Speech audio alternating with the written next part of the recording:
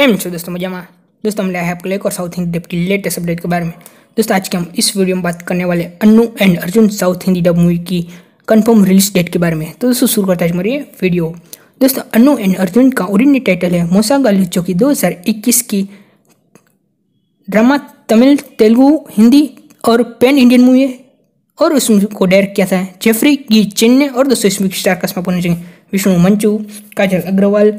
सुनील शेट्टी और नवदीप जैसे आदि कलाकार ने मूवी के स्टार कस्ट में काम किया है। अब दोस्तों बात करते हैं इसमें की हिंदी डबिंग की। तो दोस्तों इसमें की हिंदी डबिंग पूरी तरह से कंप्लीट हो चुकी है और दोस्तों इसमें की हिंदी डबिंग को करवाए, इसके ओरिजिनल बैनर द्वारा इसमें को हिंदी डबिंग को पूरी तरह से कंप्लीट करवा दिया गया अब दोस्तों बात करते हैं इसमें की world television premiere world YouTube premiere की। दोस्तों अभी तक इसमें की world television premiere world YouTube premiere की कोई कंफर्म रिलीज़